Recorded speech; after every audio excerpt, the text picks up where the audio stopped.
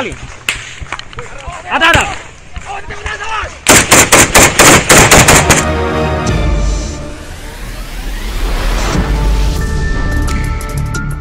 Komandan Jenderal Kopassus Brigjen Prabowo Subianto pernah menampar seorang perwira Delta Force dari pasukan elit USA hingga tersungkur karena perkataannya yang menghina Kopassus dan TNI. Momen itu terjadi tepatnya pada tanggal 8 Januari tahun 1996 saat militer Organisasi Papua Merdeka atau OPM yang dipimpin oleh Kelly Kwalik menculik 95 anggota tim ekspedisi Lawrence.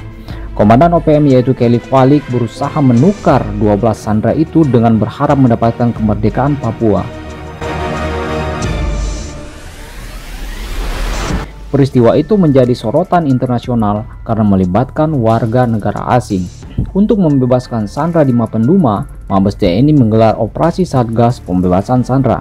Brigjen Prabowo Subianto yang kala itu merupakan Komandan Jenderal Kopassus ditunjuk sebagai komandan. Tim Kopassus yang dikerahkan berasal dari grup 5 anti teror. Selain itu, ada pasukan batalion lintas udara Kostrat 330 dan pasukan penjejak yang terdiri dari putra-putri Irian milik Kodam Cendrawasi.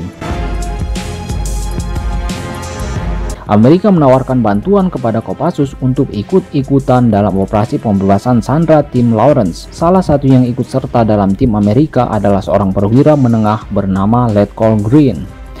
Saat briefing dengan beberapa perwira Kopassus, tiba-tiba Letkol Green mengatakan hanya James Bond yang bisa membebaskan Sandra-Sandra itu. Seorang prajurit melaporkan apa yang dikatakan oleh Letkol Green. Mendengar hal itu, Pak Prabowo langsung naik pitam. Tidak terima dengan ucapan Letkol Green, Pak Prabowo langsung mendatangi perwira Delta Force tersebut dan menamparnya hingga tersungkur. Jika kamu meremehkan negara dan pasukan saya, saya bisa menembak kepalamu.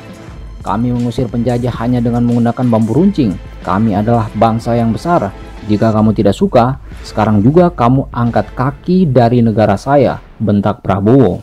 Selanjutnya Pak Prabowo langsung mengerahkan pasukannya begitu mendengar lampu hijau sebagai tanda dimulainya operasi pembebasan Sandra.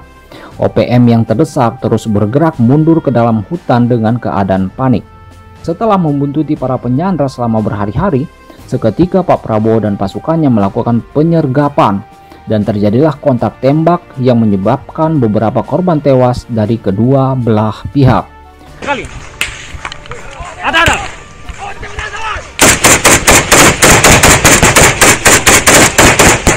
Mengetahui pasukannya akan kalah, OPM mengambil jurus terakhir yaitu langkah kaki seribu dan berlari terbirit-birit meninggalkan para sandra.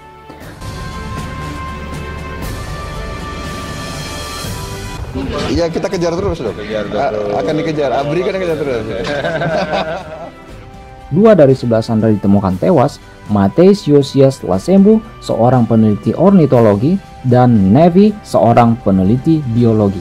Dan pada tanggal 9 Mei 1996, operasi ini pun dinyatakan berakhir. Demikian cerita singkat ketika Prabowo menampar seorang perwira pasukan elit Amerika Serikat hingga tersungkur. Terima kasih buat kalian semua yang sudah menonton video ini. Jangan lupa untuk subscribe supaya kalian bisa update video-video terbaru dari channel ini.